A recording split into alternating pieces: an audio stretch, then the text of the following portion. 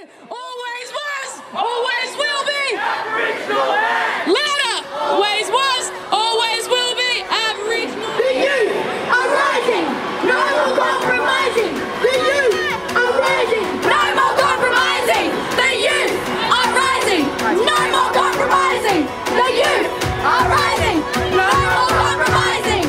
The youth are rising. My name is Adrian Wildhaber and I'm 17. My name is Lana. I'm Hannah.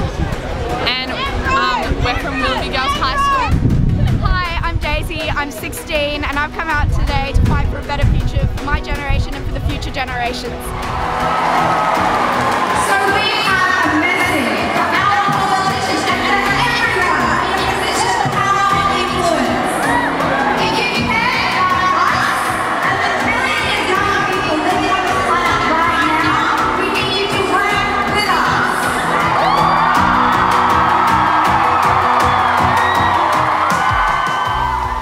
Rights to a safe future are being denied. Our politicians are refusing to do anything to act on climate change, which is why we're here striking today. We don't have a vote, but we do have a hell of a voice and we're out here using it today.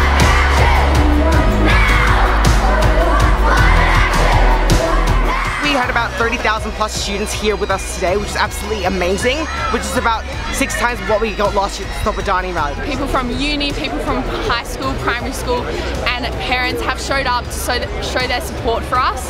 And we believe that this just shows how much of a big impact this issue is going to have on thousands of people across the world. And we believe that we should continue to fight for action to be taken. It's really amazing to see how many people care about the issue and uh, about our futures.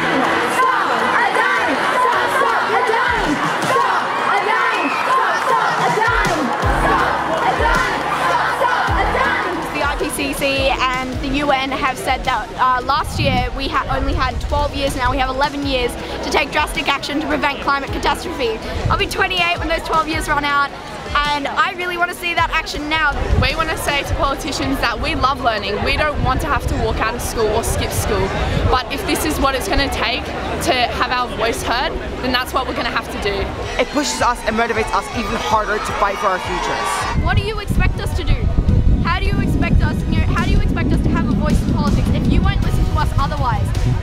Listening, we need you to take action. I'm learning so much by being a part of this strike, I'm learning so much by being a part of this team, and I know you know that.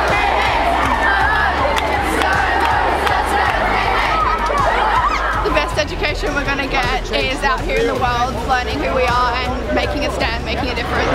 What do we want? When do we want it? What do we want? We won't stop until you get proper climate policies and politicians to act on climate change. But this is not the end, this is only the beginning. This has been such an insane experience. We're not going to stop until we get action on climate change.